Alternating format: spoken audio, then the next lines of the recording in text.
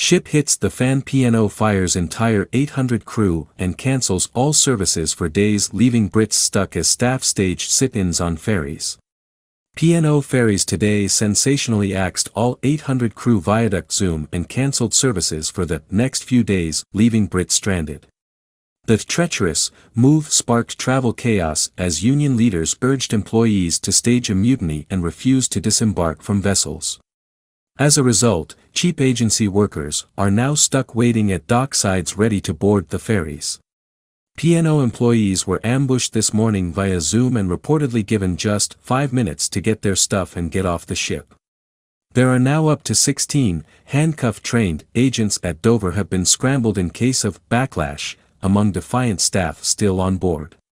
Labour MP Dame Diana Johnson claimed the balaclava-wearing private security staff are taking British crew off these ships.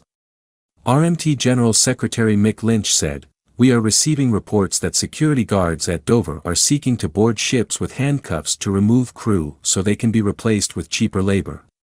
We are seeking urgent legal action and are again calling for the government to take action to stop what is fast turning into one of the most shameful acts in the history of British industrial relations. If this happens at P&O it can happen anywhere, and we are calling for mass trade union and wider public mobilization and protest against the company. P&O confirmed all 800 staff will be made redundant with immediate effect to plug a £100 million black hole. The company said crew will be given enhanced packages to compensate for the lack of advance notice and revealed the business is not viable in its current state. But they have been slammed for gathering staff to tell them their jobs had gone on a Zoom call. One man, who has worked in ferry engine rooms since the 1980s, said, I'm fuming, to be honest with you. I've known people who've been with the firm for years, this is no way to treat people. It was just a short message this morning saying you've all lost a job, basically, all this service for nothing.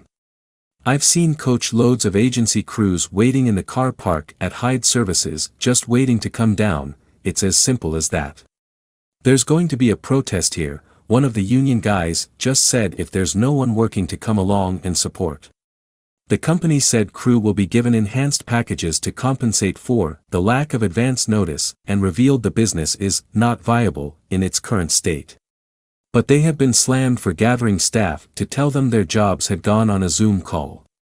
One man, who has worked in ferry engine rooms since the 1980s, said, I'm fuming, to be honest with you. I've known people who've been with the firm for years, this is no way to treat people. It was just a short message this morning saying you've all lost a job, basically, all this service for nothing. I've seen coach loads of agency crews waiting in the car park at Hyde services just waiting to come down, it's as simple as that. There's going to be a protest here, one of the union guys just said if there's no one working to come along and support.